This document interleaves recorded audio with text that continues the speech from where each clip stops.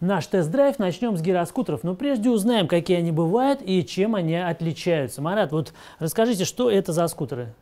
Это гироскутеры премиум, новая модель 2016 года. Это самые крутые? Это на данный момент самые топовые. Они умеют у нас балансировать сами. Отличаются гироскутеры в основном по диаметру колеса. Чем больше, тем лучше проходимость. Правда, и весят такие около 14 килограммов. Для пробы мы взяли с самыми маленькими колесами. Сейчас главное поймать баланс. Пять минут, и я уже умелый водитель вот такого транспортного средства. Последние модели гироскутеров – настоящая светомузыка на колесах. Они совместимы с операционными системами смартфонов, и можно во время езды прослушивать любимые песни.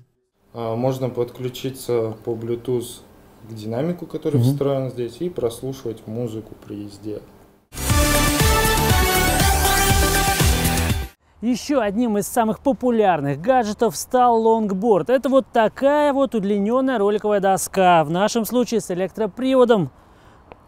Управляется с помощью вот такого дистанционного управления. Ну что, поехали?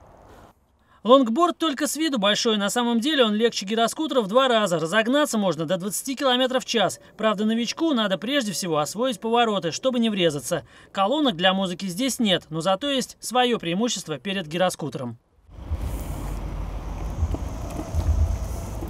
После того, как он разрядится, можно на нем дальше продолжить движение, как на обычном лонгборде. И последним в нашем тест-драйве вот такой Segway. Выглядит он внушительно в сравнении с другими гаджетами. Управлять им легко с помощью такого руля, освоить может любой новичок. Рулевая ручка выступает в качестве противовеса. Упасть с Segway практически невозможно, поэтому его считают наиболее безопасным. При этом он очень маневренный. Развернуться можно практически на одном месте.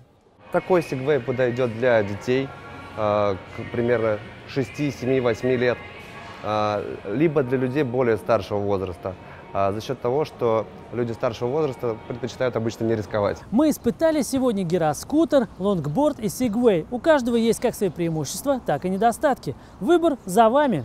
Владислав Мумут, Артем Унников для РТВ.